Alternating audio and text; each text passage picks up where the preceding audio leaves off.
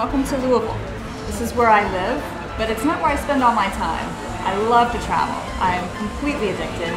Ever since the first trip when my husband and I went backpacking through Europe. 11 years later, I'm on my second passport and I just can't stop traveling. When I'm not traveling, I'm a food writer here in Louisville. I know that my friends and family would say I'm adventurous, I'm intrepid, that I'm spirited, and they say that I'm unstoppable. I don't see any limits. One of the best things about travel is discovery. Part of the reason I fly 10,000 miles is to discover new things and learn new things and have adventures. And when I come home from these discoveries, I have to talk about them. I'm writing about it, I'm Facebooking, I'm tweeting, I'm vlogging, and I also have to keep pushing past my limits. And I do that when I travel.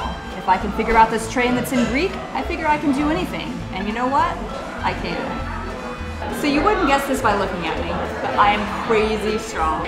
I broke a national powerlifting record, and I'm pretty sure that if I don't get a job hosting a travel TV show, I've got a career in arm wrestling hustling. One of the most amazing things about travel is meeting people who do inspiring things.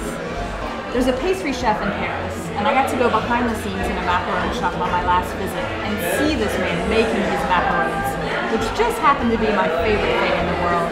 And he's been doing this for 30 or 40 years, but it doesn't matter that he's gotten up every day and done the exact same thing because he loves it and it's everything in the world to him. So I may not be Johnny Cash, and I've not been everywhere, man. But man, I've been a lot of places. I've drummed with desert nomads in the Sahara. I've swam the grotto in Capri, and I've biked down the Champs-Elysees in Paris, and I've eaten pancakes as big as my head in Estonia, and I spent the night with long-lost family in Slovakia. I've joined a parade in Bangkok for the ordination of a Buddhist monk. I've blitzed the Grand Bazaar in Istanbul and I've climbed the Swiss Alps at Schilthorn.